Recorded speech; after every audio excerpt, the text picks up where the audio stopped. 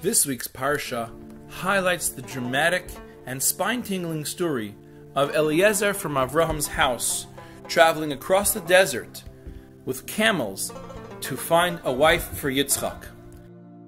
After the long journey, he arrives at the well and finds Rivka to be able to give him water for him and his camels.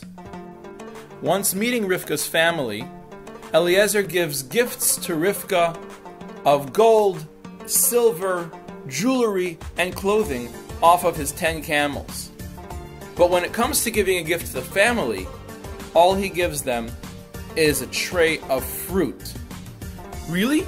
Just a tray of fruit after giving so much to Rivka? This must have been a very special tray of fruit. Rashi explains, indeed it was.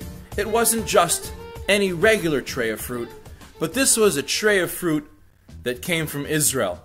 Beautiful fruits, like the ones that we find in the shuk in Israel. The message is to realize the value of the beautiful Perot Haaretz, the beautiful fruits and vegetables that grow in Eretz Yisrael. How lucky we are that sometimes we are able to get our hands on these beautiful fruits and vegetables, and we should never, never take that for granted, and always be thankful for what we have.